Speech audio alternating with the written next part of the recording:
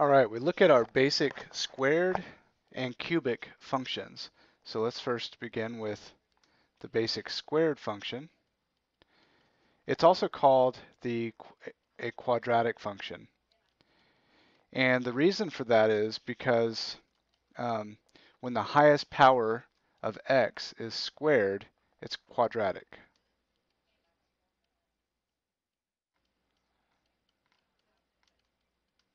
Okay, um, so this this is the most basic quadratic function. There's just x squared. Uh, you don't have any multiplication by numbers like 2x squared. You don't have any adding of numbers like plus 3. You don't have any x to the first terms in addition to your x squared term. So this is the very, very basic quadratic function. And this equation, f of x equals x squared, is the same as the equation y equals x squared.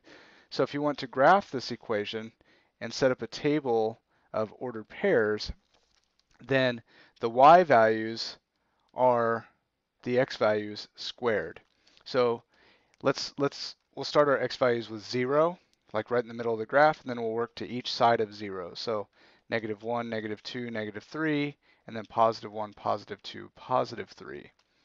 And the y values for this function are the x values squared. So the, the y value for negative 3 is negative 3 squared, which is positive 9. Negative 2 squared is 4. Negative 1 squared is 1. 0 squared is 0. 1 squared is 1. 2 squared is 4. 3 squared is 9. And you see this obvious pattern. You've got this 0, 0 right in the middle. This ordered pair is 0, 0. And then your y values match on each side of 0. What that's going to do is give us some kind of symmetry on our graph. So let's take a look at uh, exactly what the graph will look like. So let's plot 0, 0 first. It's kind of right in the middle here. And then we'll work out away from it. Let's go in the positive direction. If x is 1, y is 1. If x is 2, y is 4, because 2 squared is 4. If x is 3, y is 9, because 3 squared is 9. And I could even keep going. If x was 4, y would be 16, way up here, because 4 squared is 16. So you're seeing that as you move to the right, the y values are spreading out further, and what that ends up giving you is a curved line, not a straight line. A curved line that's increasing faster and faster and faster, getting steeper. Okay, let's move to the left now. If x is negative 1, y is positive 1. Because if you square negative 1, you get positive 1. If you square negative 2, you get positive 4. If you square negative 3, you get positive 9. And if you square negative 4, you get positive 16 way up here. So you get an exact mirror image of what we had on the other side. So a quadratic function, a squared function, um, is a U shape. It's called a parabola. Okay, so quadratic function gives us this curved U shape, and that that has a very special name called a parabola. Let's let's look at the cubic function now and see how it differs from this.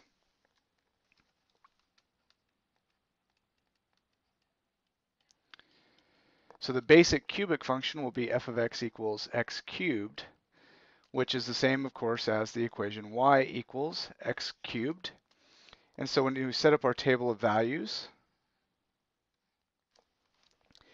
we'll start at the middle of the graph at 0, and then we'll work our way out. So 1, 2, and 3, and negative 1, negative 2, negative 3. The y values for this function, this equation, are calculated by cubing the x values. So this y will be negative 3 to the third power, which is negative 27. Negative 2 to the third power is negative 8. Negative 1 to the third power is negative 1. 0 to the third power is 0. 1 to the third power is 1. 2 to the third power is 8. 3 to the third power is 27. And so you see in the middle of our graph, we still get this ordered pair 0, 0. And then on each side, our y values are very similar, but now they're not exactly the same. They're opposites of each other. One is positive and one is negative. So instead of having positive 8 and positive 8, I have a negative 8 and a positive 8. Let's see how that affects our graph. Let me grab my grid from the previous example. and we'll take a look at how that affects our graph.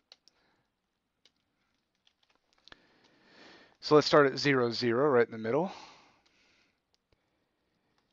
We have 1, 1, so when x is 1, y is 1, because 1 cubed is 1. Go to 2, 2 cubed is 8.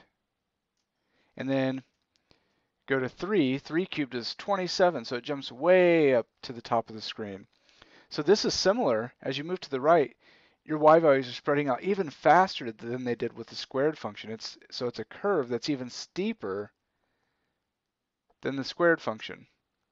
And you could probably guess if I did a fourth power, it'd be steeper yet. A fifth power would be steeper than that. It would keep getting narrower and narrower. Let's look at the left side now. When x is negative 1, y is negative 1. Because when you cube negative 1, you get negative 1. When you cube negative 2, you get negative 8. When you cube negative 3, you get negative 27 way down here. So you get the same thing as this, just pointing in the negative direction.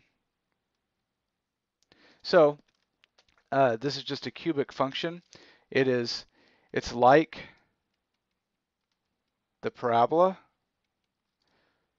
with the left side turned down. Okay, so instead of going up like this, it's flipped over down here. Okay? All right, so those are the basic square and cube functions.